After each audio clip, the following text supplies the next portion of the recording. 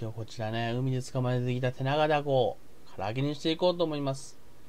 手長ダコって取れるんでね、海でね。まず塩で、あ、塩で揉みます。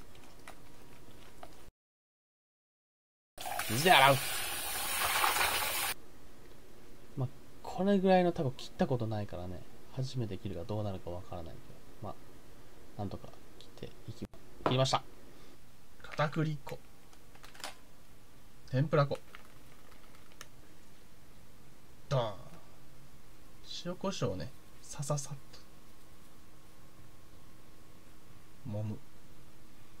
はい、完成。油で揚げていきます。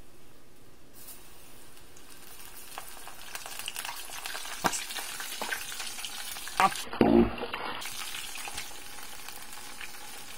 上がりました。レモンをける。はい、じゃあまあ食べて感想を言っていこうと思います。うまい